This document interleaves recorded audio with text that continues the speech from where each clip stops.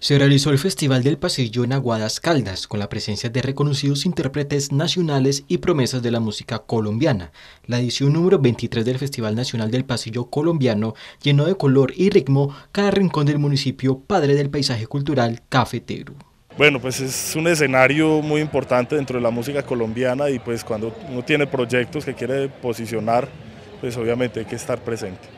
Bueno, de hecho el proyecto de nosotros está dedicado exclusivamente a eso, a trabajar la música colombiana. Particularmente hacemos eh, un trabajo de música nueva, ya tenemos una producción discográfica en la que el 100% de las obras son pues composiciones nuestras, son nuevas y bueno, pues es también parte de lo que queremos hacer en este concurso.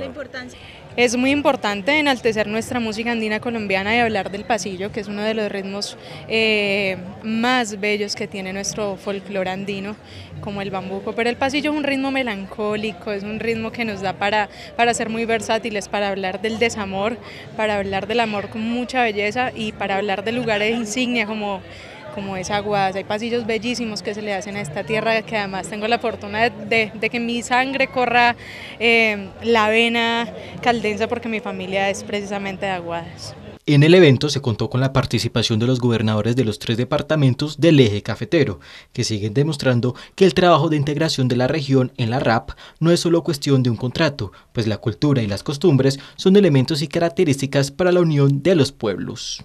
Somos una sola cultura y ustedes ven cómo danzan las danzas folclóricas de acá y cómo son iguales en el Quindío y en Risaralda.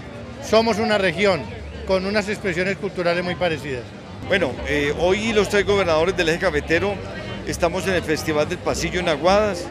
Esto es integración, es eje cafetero, es paisaje cultural cafetero y paisaje cultural cafetero además de café, sembrado en ladera, y de arquitectura cafetera, es cultura cafetera, lo que hoy estamos viendo en esta maravillosa fiesta en el municipio de Aguadas.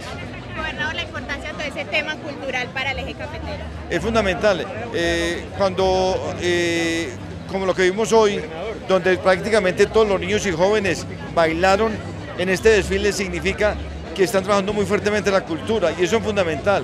Para formar seres humanos integrales hay que trabajar además de educación con deporte y cultura y se ve que aquí en Aguada lo están haciendo.